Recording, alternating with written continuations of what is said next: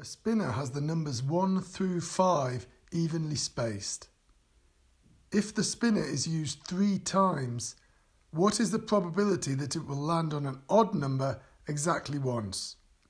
A. 12 out of 125. B.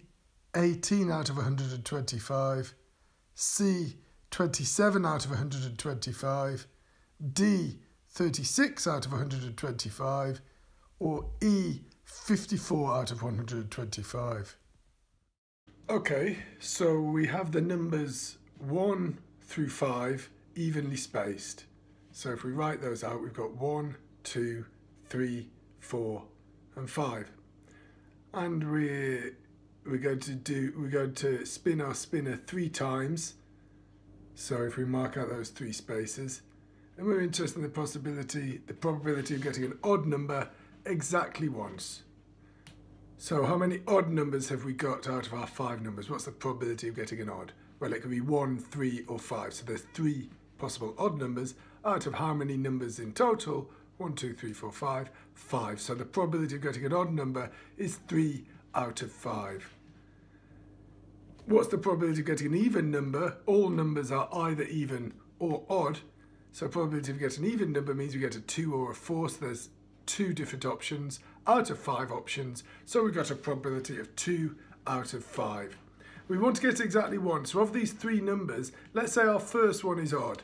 So that has a three out of five probability. The other two have to be even. So that has probability of two out of five and two out of five. So if we want want to be odd and want to be even and want to be even, in arithmetic, we're always multiplying. Whenever we've got something happening and something happening, we multiply. If it were or, we would add. So we've got 3 over 5 times by 2 over 5 times by 2 over 5. Now, it might not be the first one that's odd. It could be the second or the third one. We've got three possibilities. Odd, even, even, even, odd, even, or even, even, odd. So we have to multiply this probability by 3 for these three different things that can happen. So we've got 3 times by 3 times 2 time is 6 times 2 is 12 and then 5 times 5 is 25 times 5 is 125 so we've got 3 times 12 over 125 which is 36 over 125 QED